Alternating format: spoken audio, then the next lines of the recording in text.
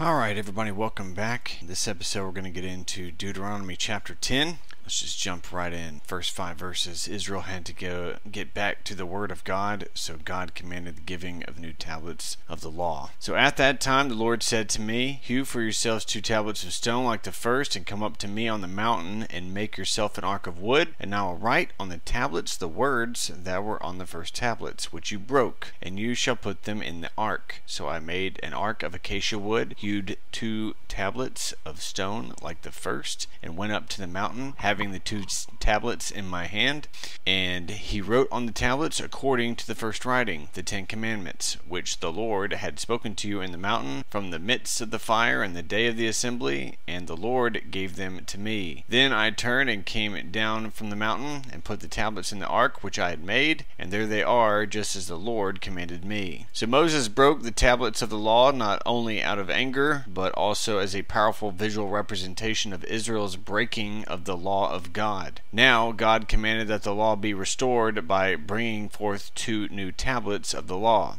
So God wanted his written word to be the starting point for Israel's right walk with him. Therefore, he restored the tablets, even writing on the second tablets with his own hand. And this is a powerful picture of the inspiration of God's word. Though God did not literally write the scriptures with his own hand, he did perfectly guide the minds and hands of the writers, so that the scripture is God breathed in 2 Timothy chapter 3 verse 16, right? That is given by the inspiration of God. And let's look at that verse real quick. And we will find through the structure of the text coming from outside of time that it was all orchestrated right by God himself. All scripture is given by inspiration of God and is profitable for doctrine for reproof for correction for instruction in righteousness. Okay 2 Timothy chapter 3 verse 16 so men moved by the Holy Spirit wrote the Bible right? 66 books penned by over 40 authors. So getting right with God after a time of rebellion must always begin and center on God's word in the days of Josiah king of Judah repentance and revival came to the people of God when they focused on God's word again in 2 Kings chapter 22 verse 8 all the way through uh, 2 Kings chapter 23 verse 25.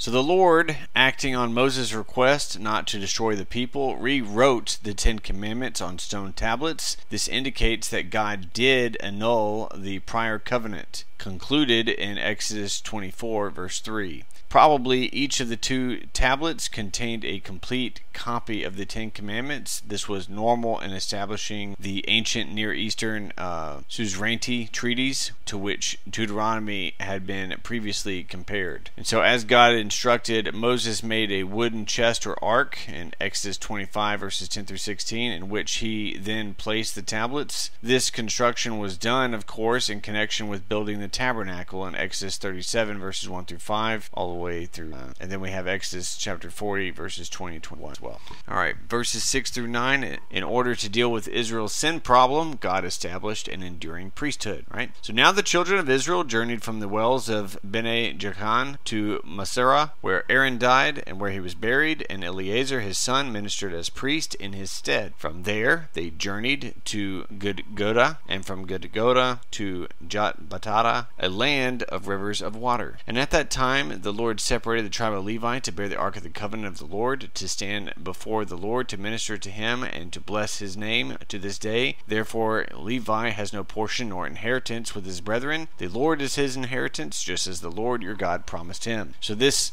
parenthesis, uh, speaking about the priesthood, demonstrated the need for priestly sacrifice and intercession and getting right with God after a time of rebellion. Israel needed the sacrifice, intercession, and blessing that the Levites would bring to the nation. The need for a priesthood shouted to Israel, You can't do it on your own. You need to come to God through a mediator who will atone for your sin, pray for you, and bless you. If you refuse your priestly mediator and trust in your own ability to do these things, you will perish. So, getting right with God after a time of rebellion must always have the focus on a priestly ministry of Jesus on our behalf. This work of Jesus is shown in his atonement for our sin at the cross, on his intercession for us in heaven, and on the blessing that he brings to us from heaven. So, these verses may be an editorial insertion when Israel was at Moserah, right? Aaron died, according to Numbers 20, verse 28, and Numbers 33, verse 38. Aaron died on Mount Hor.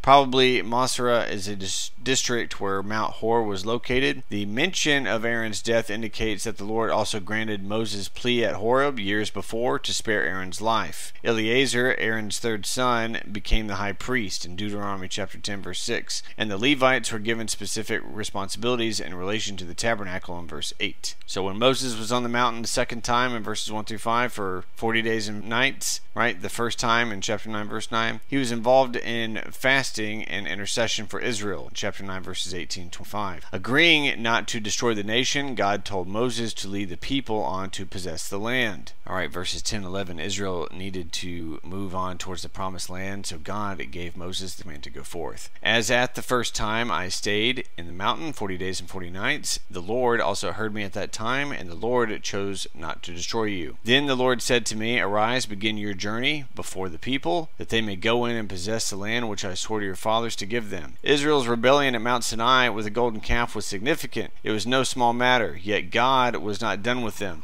After they came back to his word and came through his priesthood, it was time to move on. God had a place to take them, and they had to get about the business of getting. So, getting right with God after a time of rebellion must always come to a place of progress again. It does no good to come back to the word, come through God's priesthood in Jesus, and then remain stuck in the same place. God wants us to move on with Him, and when we are ta- walking right with God again, we will go in and possess the land. Right? So, these verses are an introductory summary to the general exhortation in verses 14 through 22, having shown the impossibility of self dependence in chapter 8 and the impossibility of spiritual pride in light of her rebellious history in chapter 9 and chapter 10. Moses called Israel to exercise her only option for survival total commitment to the Lord. This is seen in several infinitives used to fear, walk, love, serve, and observe. Such commitment was for their own good. In Micah chapter 6 verse 8 states, He hath showed thee, O man,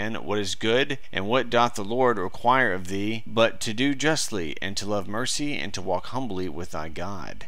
All right, verses 12 through 13, what the Lord requires of his people. And now, Israel, what does the Lord your God require of you? But to fear the Lord your God to walk in all his ways and to love him, to serve the Lord your God with all your heart and with all your soul, and keep the commandments of the Lord and his statutes, which I command you today for your good. So God requires from us a reverential honor towards him, not a fear that would make us shrink back, but a heart that so honors God that we would be hesitant to offend him. And God requires us to live our lives after the pattern he has set for us, to walk on his road, not on our own, right? So God requires us to love him. This means that the love he expects isn't a love that just happens, but it's a love that comes from a decision to set our affection upon him. And God requires us to serve him, to see all that we do as a service unto him, and to do all that we do as if doing it unto him. So God requires us to not only know his word, but to keep it in the sense of possessing it in ourselves, in the sense of protecting it. Every command of God is given for our good.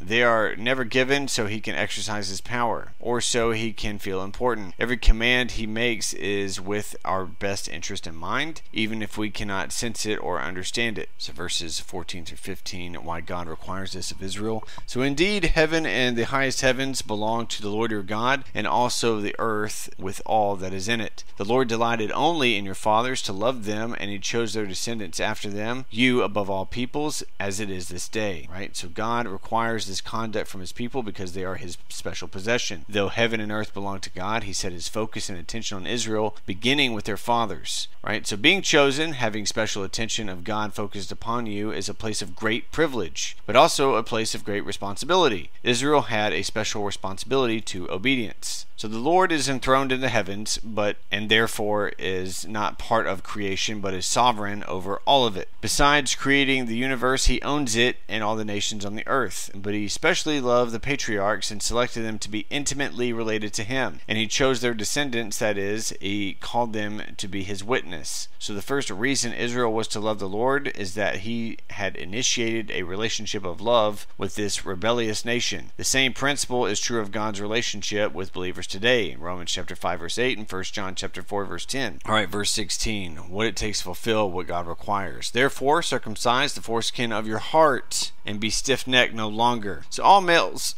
all males among Israel had to be circumcised 8 days after they were born. But this minor surgery was merely a symbol for the real work of cutting away the flesh, God that desired the work of taking our hearts inclined after the flesh and giving us hearts inclined after the spirit. So this theme would be repeated later in the prophets, right? Circumcise yourselves to the Lord and take away the foreskins of your hearts. Jeremiah chapter 4 verse 4. To fulfill God's law, it takes more than just being given a command. It takes an inner transformation, a transformation that only God can bring. God commanded them to do something that only he could do in them and to show them that basically the need to have the inner transformation and to compel them to seek Him for this inner work. Israel is said to have uncircumcised hearts in Leviticus 26, verse 41, Jeremiah chapter 9, verse 26, and Ezekiel chapter 44, verses 7 and 9. All right, verses 17 through 22, a call to obedience, reverence, and compassion. For the Lord your God is a God of gods and Lord of lords a great God, mighty and awesome, who shows no partiality nor takes a bribe.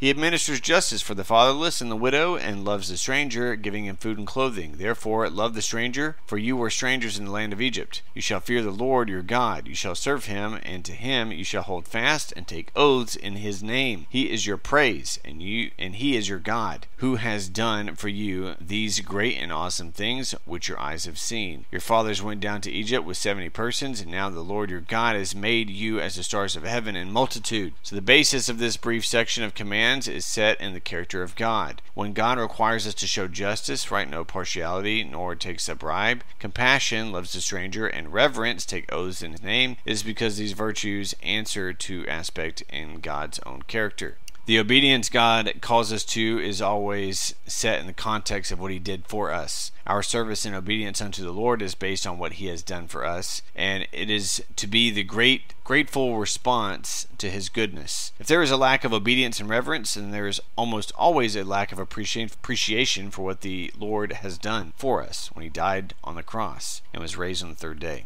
And this is true in two senses. First, He is the object of our praise. Second, He is also the one who makes us praiseworthy. Any wisdom, beauty, or skill we show is not to our praise, but He is your praise, right? So the proper response to their election by a sovereign Lord was to circumcise their hearts. An uncircumcised heart means a will that is hardened against God's commands. It is another way of saying a person is stiff necked or stubborn, like in chapter 9, verse 6 and chapter 31, verse 27. Thus, the command to circumcise their hearts assumes that the human hearts are naturally rebellious and need correction. Though human hearts are slow to change, Moses warned the nation that no bribe or anything less than an inward transformation could satisfy the Lord, who is great, who is the great God. God's treatment of the helpless, the fatherless, the widow, and the alien further illustrates his absolutely just character, right, showing no partiality, and highlights his requirement for Israel to be just. The mention of the alien in verse 18 recalls God's great deliverance of Israel with great and awesome wonders in verse 21 from being aliens in Egypt, right? Exodus 23 verse 9. Therefore the Israelites were to fear, serve, and adhere to, right, or hold fast to in Deuteronomy chapter 11, verse 22, chapter 13, verse 4, chapter 30, verse 20. And they were to praise him. And as further encouragement to be faithful to the Lord, Moses called the people's attention to the fact that he had already fulfilled part of the promise to Abraham by multiplying their number like the stars in the sky. Genesis 15, verse 5, Genesis 22, verse 17, and Genesis 26, verse 4. And that ties up Deuteronomy chapter 10. Next time we'll get into Deuteronomy chapter 11 rewards for obedience and the choice. Thank you for joining.